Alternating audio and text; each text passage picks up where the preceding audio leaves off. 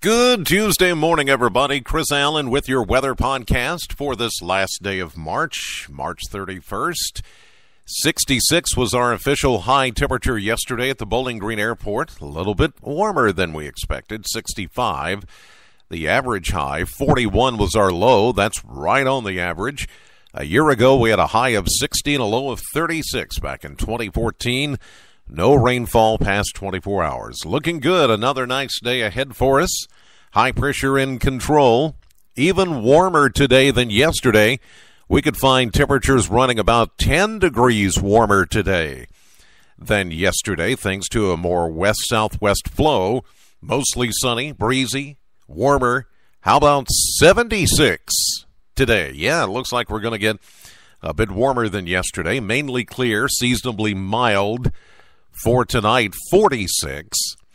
And then for Wednesday, the first day of April, we're going to find slightly cooler but still warm temperatures, mostly sunny 74. There's actually a little weak cold front that's going to slip through tomorrow.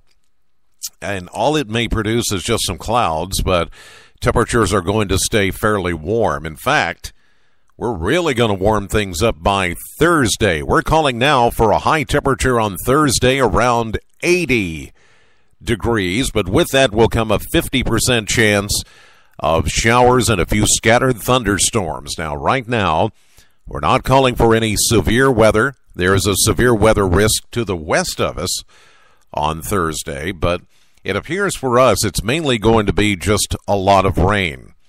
And that goes for Good Friday as well. An 80% chance of rain and a few thunderstorms with a high of 73.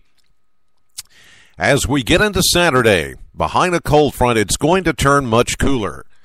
As we get into Easter weekend, sunshine and a high of only 60. For Saturday, Sunday, mostly sunny, 66. That is Easter Sunday. At least you can make some outdoor plans. It's going to be a bit cooler than uh, what we will experience this week, but not much cooler. Not cold, just cooler.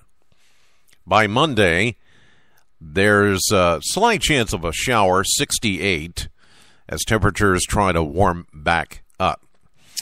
Well, as I mentioned yesterday, if you were listening to the podcast, I'm going to be out for the rest of the week after today going on my annual journey to Memphis, Tennessee, to St. Jude Children's Research Hospital. We take that trip every year, and we go down for a couple of days. We tour the hospital and we shoot some promos for the Dream Home campaign. We're going to take the new Leachman car to Memphis, and it's the car that we'll give away come this August, along with the Dream Home, which is under construction right now, South Glen Gables uh, off Nashville Road, just south of town, across from South Warren High School. So, uh, all that we're going to be doing over the next couple of days and then taking Good Friday off. So, uh, after today, I'll see you next Monday. In the meantime, have a great week. Happy Easter. God bless you. Thank you so much for listening. I'll see you live at 5:30 on AM Kentucky, streaming live to the WBKO app and to WBKO.com.